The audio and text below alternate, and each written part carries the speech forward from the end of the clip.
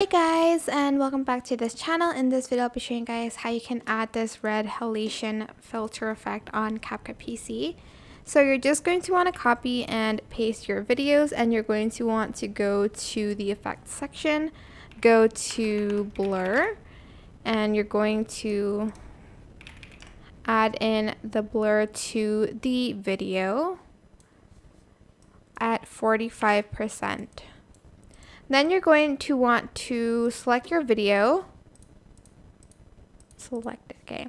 Go to adjustments and go to curves. Go to the red one and you're going to do the same thing that I'm doing here. Just making it a little bit more red. Go to filters and go to food and add in gourmet number two on top of your videos like so.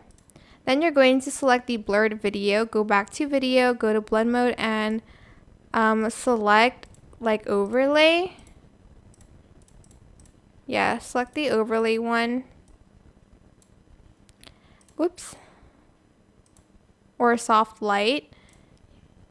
Um, but I'm just going to adjust the overlay at like around 70%-ish and that is it basically. It's um, better on like lighter colored videos but yeah.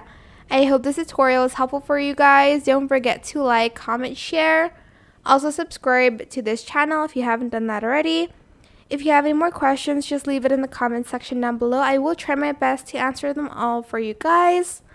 And if you found this video helpful please click the thanks button above the description box down below. Thank you so much for watching. Bye